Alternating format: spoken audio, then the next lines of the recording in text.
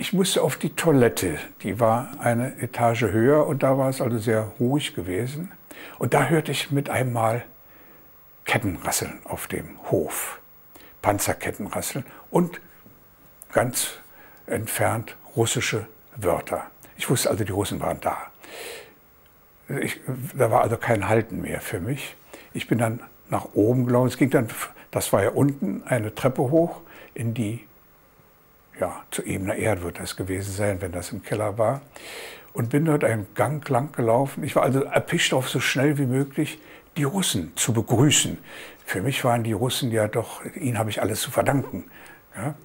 Und ich komme in ein, öffne die Tür eines großen Raumes. Ich denke, der war holzgetäfelt und sehe am anderen Ende dieses Raums einen Tisch mit mehreren russischen Offizieren. Und das Interessante für mich war, ich habe mir Russen immer so, das muss mir die Nazi-Propaganda irgendwie eingeprägt haben, ich sah die immer in, in Fußlappen rumrennen und, und, und kaum Uniform tragen, zumindest zerlumpt und, und zerfleddert. Und was ich dort plötzlich an Uniform gesehen habe von den Russen, das war also für mich waren das Operettenuniformen. Ich habe sowas vorher nie gesehen. Das waren sehr hohe Offiziere mit breiten, handbreiten, goldenen Schulterstücken, mit graubraunen, langen Mänteln, mit knallroten Reveraufschlägen, breiten, knallroten Biesen an den langen Hosen. Das war für mich was ganz Erstaunliches.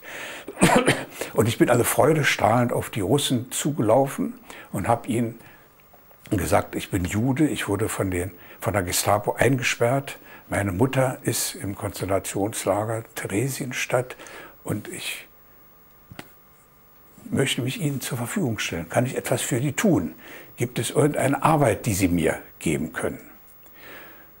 Also zumindest der eine, mit dem ich sprach, der hat jedes Wort verstanden. Ich bin sicher, die anderen haben auch perfekt Deutsch gesprochen. Der hat also abgewinkt, Hilfe von mir brauchten sie nicht. Er hat dann einen Zettel genommen, hat irgendetwas draufgeschrieben auf den Zettel, was ich leider nie feststellen konnte, was es war.